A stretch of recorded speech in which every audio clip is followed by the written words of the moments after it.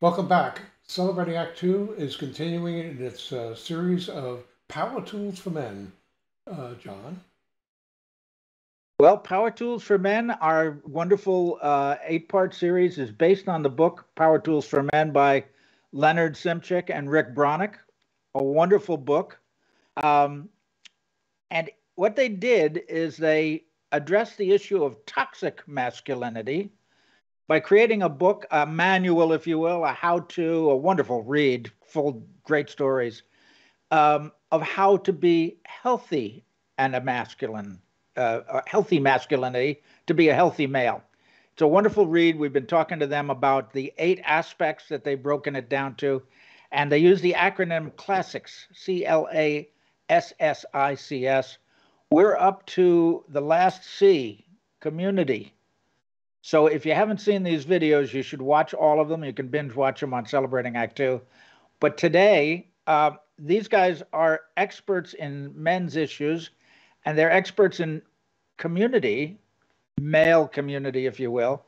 And I think it's a really important um, thing for us to discuss because men pal around together. We love to pal around together, but what are we getting out of it? And uh, Rick and Leonard both are experts in the field of what I call men's issues. They've written numerous books each, and they're famous for their lectures. They're in demand for workshops, things like that. So they're folks who who really have some practical advice for us when it comes to community. Okay, uh, so we're going to join our community of Art and John and Rick and Leonard. Hi, guys. Yes. Hey. Hi, guys. Thank you for having us. You know, it's talking about community. Uh, Rick and I have been involved in men's issues, as you mentioned, John, for 35, 40 years. And community is so important. And Rick and I met oh, maybe, I think, seven years ago in a community, a men's group. And that's we started to forge a relationship, uh, bromance, so to speak, that eventually moved into writing this book together. So it's so important for us men to be in community because when we are, great things can happen. And yeah. that's what we're going to talk about today. Great. Great. Great. So I, I, I just want to just uh, share with you that it was back in 1984 I uh, stood in a group with 65 men, all strangers, and I'm wondering, what the heck am I doing here? And we had come together in Sydney, Australia to establish uh, community men's groups. And that was my first introduction into being part of men's groups. And it had a profound impact on my life. I, well, this is a group of men that gave me the feeling that I'm here for you. I believe in you. I love you as a man.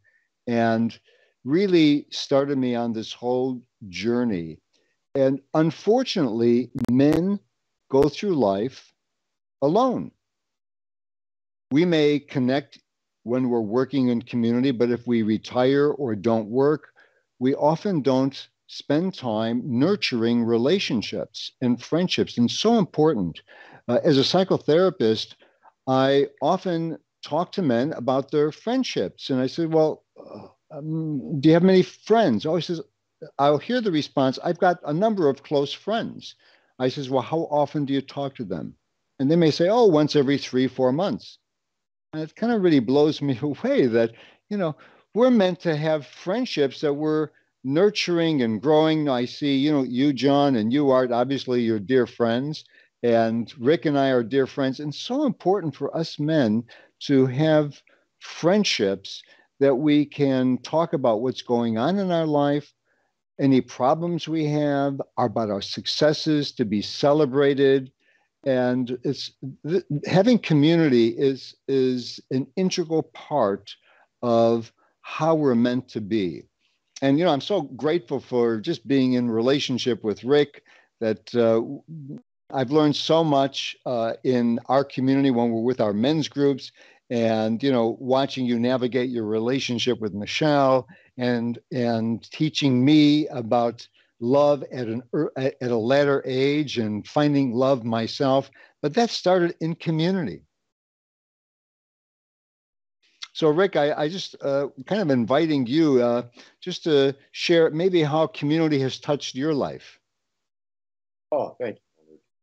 Uh, it's touched my life in so many ways. I mean, before I started doing men's work uh, in my late 30s, I didn't trust a single man on the whole planet. Nobody.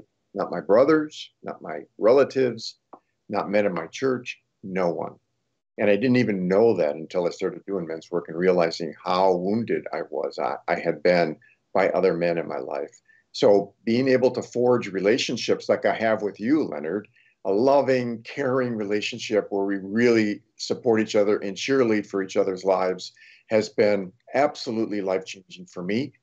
Being in a men's group nonstop for 35 years has been absolutely life changing for me and i have i feel like i'm a part of a deeply connected community so that when i have challenges in my life i get support like i can't believe. It brings tears to my eyes. It truly does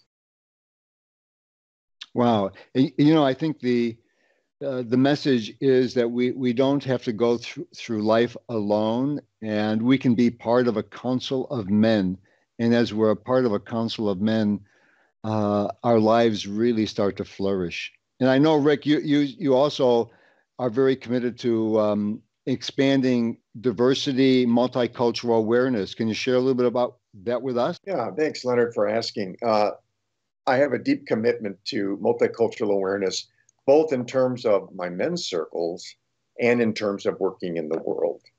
Uh, we call it the power tool of developing multicultural awareness. Um, for example, in my first men's circle, there was an African American man, a Latino man, a gay man, a bisexual man, and a couple of Jewish men.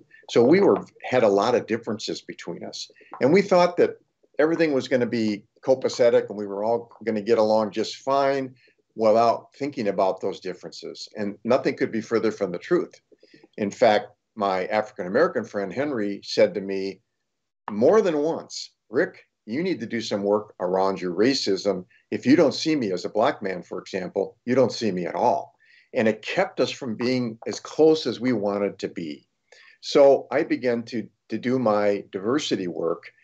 And in doing so, I also learned about how resistant I was to being close to LGBTQ men. Um, I'm sorry, GBTQ men and that really, really enriched the group and enriched my life in ways that are mind boggling to me. We live in a wildly diverse world. Coming to terms with diversity and difference within is warrior work. Most of us hunger, hunger for diversity in our circles. But when we get in diverse circles, we don't know how to interact with, connect with, be close with, be intimate with men of difference. how we examine our prejudices that come between us and other men. Make contact with folks of difference is one of the ways to do that. Educate ourselves with what those differences are and how they impact folks. Like Henry, for example, after a period of time, was willing to share with me how being a Black man in the US affected his life, impacted his life in myriad ways that I never had to, to think about as a white man, being raised as a white man uh, and also finally becoming allies and co conspirators with each other. I reach out now and help my friends of difference in, in ways that I didn't even know I could do back then, to use my privilege as a white, straight male to help other folks in the world as they run into challenges that come about as a result of those differences. I believe that that exploration enriches a group and enriches our individual lives as well, Leonard. Well, you know, I think the thing is that, you know, to see all men as brothers. I mean, we're all brothers. You know, I uh, come from a Polish background. I lived in Australia for 14 years. I consider myself a um, um, Australian Polish American, and part of it is is expanding expanding our perception and that all men are brothers. And how can we relate to each other as brothers so that we can um, build a, re, a community, a very loving community of men to, to reduce the polarization that often occurs in our culture so that we can we can actually harness the power, the energy of being men. And yeah. and and that's going to take us to the next uh, um, uh, the final S in, in the classics is that sovereignty, mm. so that we can all become kings. Sovereignty. By the way, I, I, I thank you guys uh, because uh, uh, I was uh, typing out sovereignty and uh, I had to remember that it was R E I G N, and after I Googled it, I, I figured it out. So thank you for that. but the, this community, and uh, we sort of in this last seven or eight weeks have formed our own little community, uh, and uh, you've greatly expanded uh, our understanding of issues that we might not even th- have thought of, although we've seen it in other people. Maybe we didn't experience ourselves, and that has been to me one of the most um, fascinating things about uh, reading the book and listening to the series is that it gave me a better appreciation for, you know, we all say, yeah, you don't stand in that uh, guy or gal's shoes, so you don't really know what their problem is. Maybe they're having a bad day. Uh, well, maybe they're having a bad life and maybe they're dealing with issues. And it's just a, a lot more awareness of when we see people that we're uh, interacting with that maybe they're dealing with issues and uh, we can just be a little bit more sensitive to that so that uh, maybe we could be a non-irritant in their lives. So for me, this has been great for that. Thank you. Yeah, it has been great, and I I always like the um, uh, how you end a chapter with uh, exercises, with stretches. Uh, practice what you preach. Give us a, one of your stretches for a community. thanks, John. I'll take it this time. Um, the one that I'd like to highlight is if you're in a circle, research men's groups that are available in your area, if you're not in a circle, excuse me, and make a plan to attend one. If you're one of those men who are isolated or aren't in a men's group, it's very important to get into community. A community of men who can be supportive and caring and support you in your life, and you can support them. And if you live in a rural area, virtual groups are available all over the place now from lots of different organizations, including the Mankind Project. So that would be a fabulous stretch for a man who is looking to connect with other men. Right. Get into a group. Good. Good. Great advice. That's a, that's a great uh, chapter of the book. Uh, power Tools for Men, uh, filled with uh, lots of power tools ideas and I'm looking forward to the next aspect. Uh, as you mentioned, sovereignty. Is that the way to pronounce it? For more on Celebrating Act Two, visit our webpage, follow us on Facebook, subscribe to us on YouTube, and tell your friends. Celebrating Act Two is the user manual for the second half of your life.